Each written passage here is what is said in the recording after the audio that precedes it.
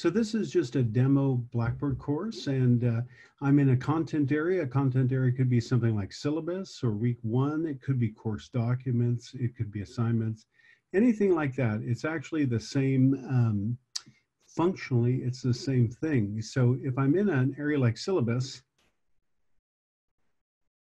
I can copy and paste my syllabus in, um, or I can actually just attach it. And I'm going to move over to week one. It's a little less busy there. There we go. And so building content is pretty easy. You just would uh, choose build content here. The three most popular items are item.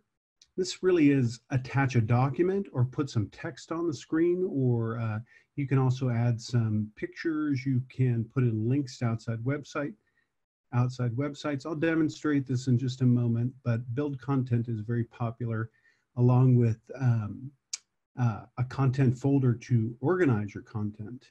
And the third most popular is web link, just a link to an outside website. We don't recommend uh, file. This is kind of uh, misnamed. This is how you would deploy a small website, something like that.